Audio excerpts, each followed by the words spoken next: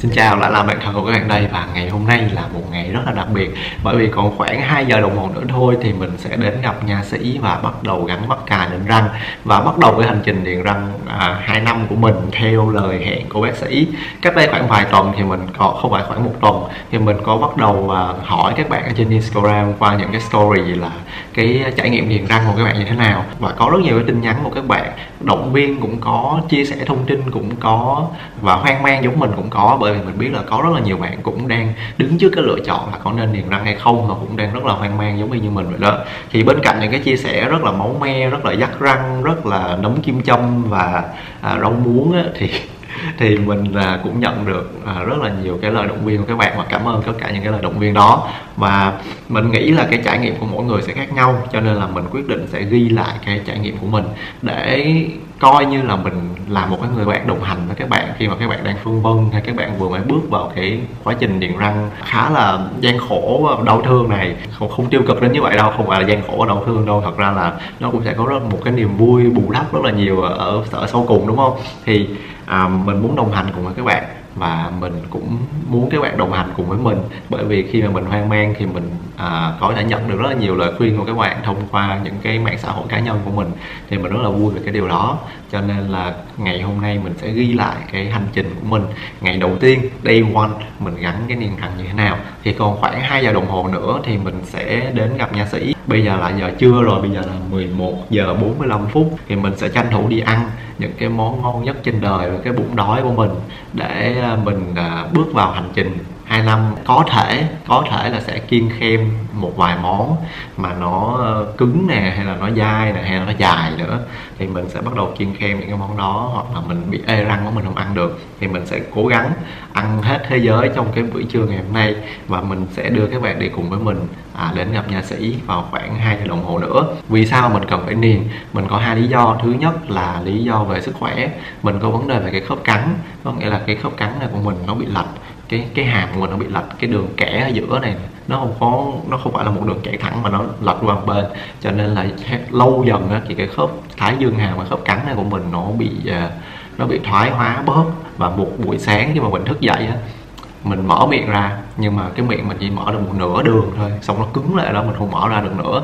Thì à, mình rất là hoang mang về cái việc đó khi mà các bạn tưởng tượng mình mở miệng ra xong rồi mình chỉ cứng lại giữa như thế này và mình không há được ra hết. Và mình rất là lo sợ khi mình đi khám nha sĩ thì nha sĩ nói là mình đang bị vấn đề về cái khớp này.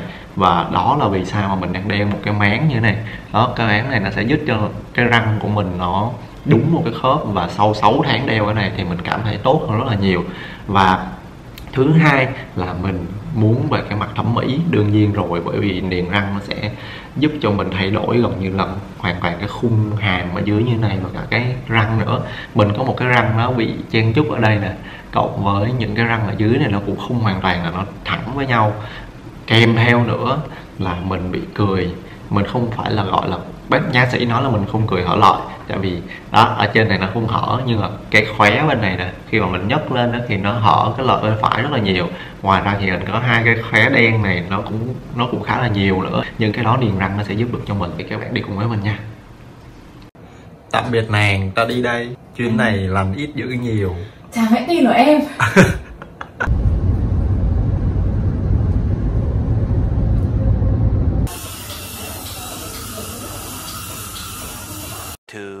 Two thousand years later.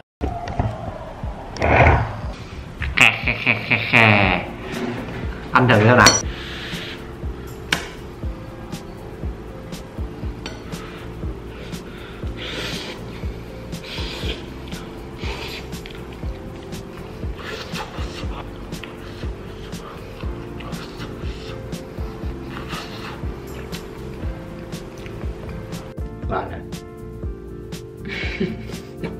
chứ không chứ không chứ không, chứ không đóng là như vậy đâu đỡ đây là này nếu mà anh không nếu mà anh không làm cái động tác đó thì nó sẽ nó sẽ nó sẽ giống như là nó, nó treo ở trên á bây giờ cũng đóng mồm lại này. Làm giống anh nha. Một hai ba.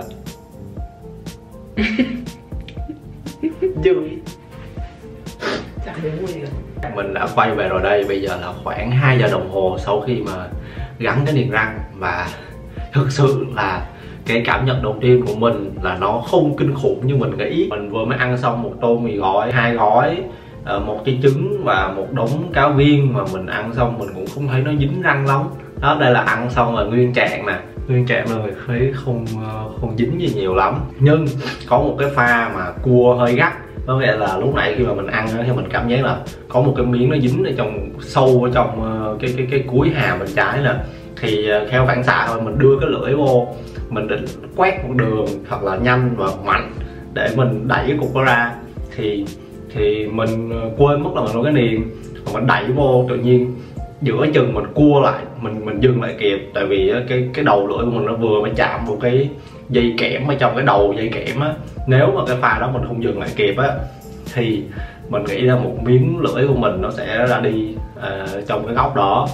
Và cái này thì mình nghĩ là một cái kinh nghiệm mình cần lưu ý cho những cái lần sau. Thứ hai là mình chưa thấy đau chưa thấy gì hết chưa thấy cảm giác ê buốt hay là đau gì hết. Theo như là những cái người đi trước những cái người đã niền rồi thì nói với mình là mình có 3 tiếng sau khi sau khi niền để bắt đầu có cảm giác đau và sáng ngày mai thì mình sẽ thức dậy với một cơn đau đầu và một cái hàm răng ê buốt. Nhiều khi gặp đau mà hối hận là tại sao mà mình lại đi niềng răng á thì cái đó thì mình sẽ chờ đến sáng mai xem như thế nào. Còn bây giờ thì mình sẽ làm vệ sinh răng. Đối với việc niềng răng này thì mình được hướng dẫn khá là kỹ bởi nha sĩ và rất là may là mình cũng đã có đủ những cái dụng cụ ở nhà rồi. Thì mình có hai cái máy này. Đây là cái máy đánh răng của mình. À, Oral-B mình sẽ để cái chữ ở đây. À, đây là Waterpik là một cái tắm nước. Cái tắm nước này cái cơ chế hoạt động của nó là các bạn à, đổ nước vào trong cái khoang này. Sau sau đó thì các bạn bấm nút thì cái nước nó sẽ chảy ra với nó sẽ được bắn ra với cái áp lực rất là mạnh từ cái vòi này. Thì các bạn chỉ cần đưa nó vào những cái kẽ răng á, thì đồ ăn nó sẽ được đưa ra ngoài hết và nó làm sạch tất cả những cái ngóc ngách. Thì cái này nó sẽ giải quyết được cái việc mà các bạn phải sử dụng cái chỉ nha khoa và cái um, và cái bạn chảy kẽ là một cái này thôi là nó vừa nhanh hơn vừa dễ sử dụng hơn, vừa đỡ mất thời gian hơn và nó còn sử dụng được. Nói chung là hai hai trong một á rất là tiện, nếu các bạn mà điền răng hay là không điền răng đi nữa thì cũng nên có cái water pick này. Dino á, Dino gợi ý cho mình là sử dụng hai loại nước súc miệng. Một cái là Listerine, nếu mà miệng đang bình thường, đang không có vết thương, không có chảy máu gì hết. Thứ hai là một cái nước súc miệng mà có kháng sinh, tên là gì thì mình quên rồi, mình sẽ để cái chữ ở đây. Và mình sẽ quay lại vào sáng ngày hôm sau và mình sẽ review cho các bạn là mình sẽ cảm thấy như thế nào sau một đêm của ngày đầu tiên mà hay được nói và hay được biết là cái đêm ờ, kinh khủng nhất. Thì mình sẽ xem là cái nụ cười này của mình nó còn nở nổi không vào ngày mai nha. Bây giờ thì chuẩn bị đến ngày mai này một hai ba. Xin chào bây giờ là buổi sáng ngày hôm sau rồi và bây giờ là khoảng 9 giờ rưỡi sáng. À, sáng nay thì mình đã thức dậy vào khoảng 7 giờ.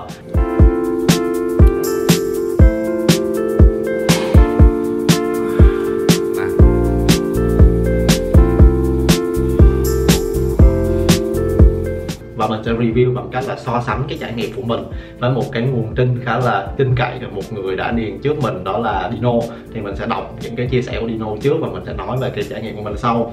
Thứ nhất, tuần đầu là những ngày ác mộng nhất trong cuộc đời, không ăn được cái gì, răng đau muốn rụt có những lúc nghĩ rằng chắc nhổ hết răng còn sướng hơn, tay lúc nào cũng cậy cậy cái mắc cài, mình mà có đủ năng lực chắc bóc hết cái mắc cài bằng tay không.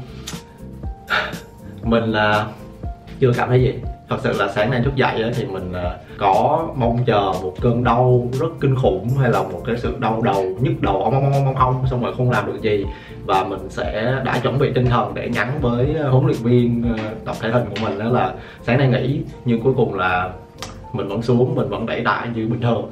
Và mình chưa cảm thấy những cái cơn đau. Cái cơn đau duy nhất của mình đó là khi mà mình bây giờ mình cắn hai cái hàm lại với nhau á thì nó cái răng nó đang ê. Mình nghĩ là bởi vì nó đang di chuyển cho nên nó ê và mình thấy ờ, khá là khó nếu mà bây giờ bắt mình nhai hay là ăn một cái món gì đó nó cứng hay là dai.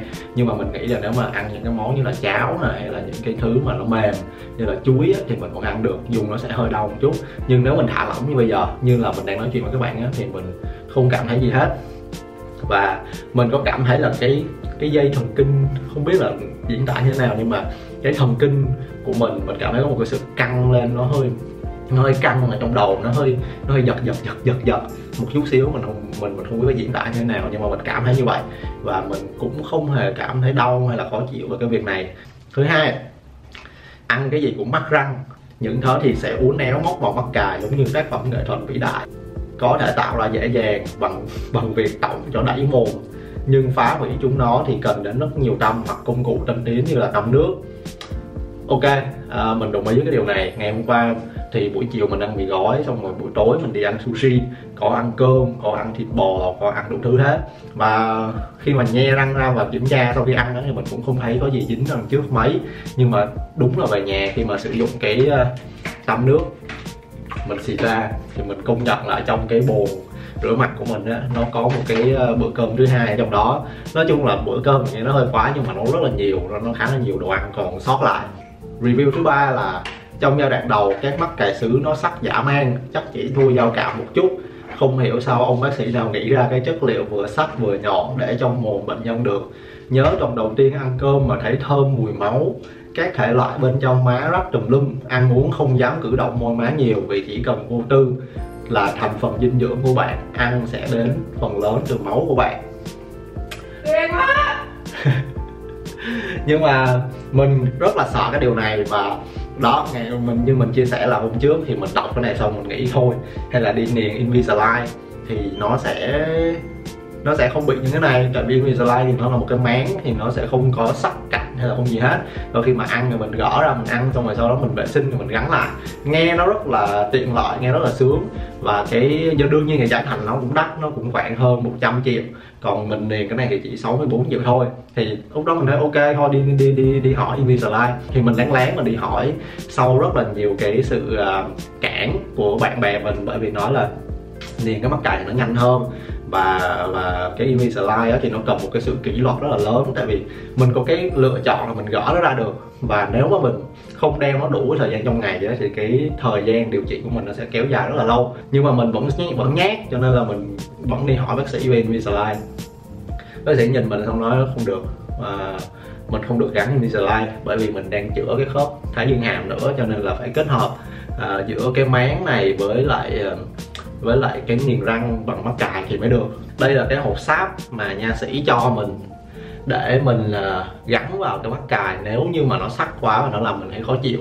Và các bạn thấy đó là cái hộp sáp này hoàn toàn mình không sử dụng một miếng nào luôn. Tại vì mình không thấy gì hết. Thật sự là nó nó khá là chân chu khá là dễ chịu đối với mình. Chỉ có một cái điều là mình mình mở miệng ra mà mình đóng lại thì mình phải thêm một cái hành động đó. À, hôm qua mình có giỡn với vợ mình đó là đó mình bây giờ mình thả lỏng nè, thì nó dính lại một chút, thì mình muốn đóng lại thì mình phải ừ. và từ tối qua tới giờ, sau khi ăn hai bữa, sáng nay thì ăn giấy chuối rồi, thì mình cũng không bị rách miệng hay là thấy thơm ờ, mùi máu gì hết. Mà chỉ thấy thơm mùi đồ ăn thôi, và mình nghĩ đó là một cái tin vui dành cho mình. Review thứ tư, nói gì cũng khó, tiếng nói sẽ hơi khác một chút.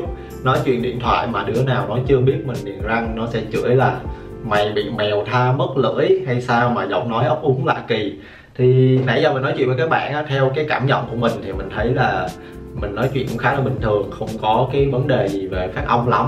Còn nếu mà các bạn thấy là mình ờ, nói chuyện mà nghe nó hơi khác hơi ấp úng hay là hơi khó về phát âm thì các bạn comment ở dưới cho mình biết. Còn cảm nhận cá nhân của mình thì mình thấy không bị khó khăn gì mấy trong cách phát âm và nói chuyện. Review thứ năm. À cái này mới kinh. Lúc trước bạn không vẩu đâu. Bạn niềng răng vì những vấn đề khác. Nhưng càng nói càng không ai tin. Chúng nó chỉ nhìn thấy bạn vẩu Vì cái mắt cài nó dày. Nhìn bạn đích thi đã bị vẩu Nên mới đi niềng răng. Đừng giải thích hay thông minh làm gì, vô ích. Vỗ thế thôi. Ở đọc là mình khá là buồn cười. Thực sự là trường hợp của mình á, cái khoang miệng của mình nó khá là rộng trong khi cái răng của mình và cái khung hàm của mình nó nhỏ. Cho nên là khi mà mình bị thêm một cái lớp à, niền ở trong nữa thì nó cũng không đẩy ra mấy hoặc là hoàn toàn là không đẩy ra luôn. Nên đây là cái góc nhìn ngang nè.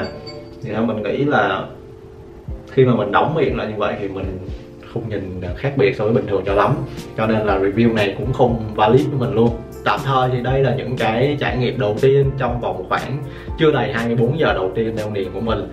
Và mình thấy khá là thoải mái với nó và mình cũng không thấy nó quá kinh khủng như là mình à, đã mong đợi. Và mình thấy rất vui về điều này. Nếu các bạn hỏi thông tin về cái niềng răng của mình á, thì mình niềng cái loại gọi là mắt cài sứ tự trường thông minh với lại cung miêu. Nói chung là cái loại này là cái loại à, mà mình nói là bác sĩ chọn cho mình cái loại đắt nhất và à, thẩm mỹ nhất trong cái các loại mắc cài cũng như là những cái công nghệ mới nhất. Như là cung miêu thì mới xuất hiện khoảng cách đây 4 năm. Và mình điền ở nha khoa OK số 346 Võ Văn Tần quận 3 à, ở đây rất là nổi tiếng với bác sĩ ở đây rất là nổi tiếng với bác sĩ Phi. À, bác sĩ Phi thì chuyên về răng hàm mặt và cái um, cái khớp thái dương hàm này, mình đến với niềng răng thì cũng bắt đầu từ cái khớp này, cho nên là mình tìm đến bác sĩ Phi trước. Thì mình cũng nói luôn là cái video này không hề có bất cứ cái sự ờ, tài trợ hay là mục đích thương mại nào của OK với mình. Mình chỉ sử dụng dịch vụ mình thấy tốt, mình nói, mình chia sẻ với các bạn thôi. Ngoài ra thì ở đây có một cái chương trình là về uh, giới thiệu khách hàng. Cái chương trình gốc á, là nếu như là các bạn nói cái cái cái mã giảm giá của mình cái mã giới thiệu của mình thì các bạn sẽ được giảm 5% và mình sẽ nhận được 5% cái cái cái số tiền mà các bạn chữa trị. Nhưng mà mình có nói với cái nhà khoa là bây giờ em không lấy cái 5% đó thì cho em một cái mã thì các bạn sẽ nhận được 10% luôn. Là coi như là mình không lấy cái năm phần trăm mà nhà khoa offer cho mình. Thì nếu các bạn đang có cái nhu cầu thì các bạn có thể tìm hiểu thử. Và đến nhà khoa ok để thăm khám thì từ đó các bạn có thể sử dụng cái mã là à, bản thân. Và mình hy vọng là mình sẽ đúng với cái tiến độ 2 năm để một ngày nào đó ờ, sau 2 năm mình có thể quay lại một cái video nữa là ngày hôm nay mình tháo niềng ra và mình cười vào camera và các bạn sẽ bị chói mắt đó là cái trải nghiệm của mình. Mình biết là mỗi người có một cái cơ địa khác nhau nhưng mà mình cũng muốn chia sẻ cái trường hợp của mình là có những người như mình cảm thấy rất là thoải mái sau khi niềng răng chứ không quá kinh khủng như là một vài cái trường hợp khác. Và hy vọng là các bạn không cảm thấy cô đơn trên đường đi tại vì có mình nghe cái hàm răng sắt này cùng với các bạn. À, bây giờ thì mình sẽ đi ăn sáng thôi và chào gặp các bạn.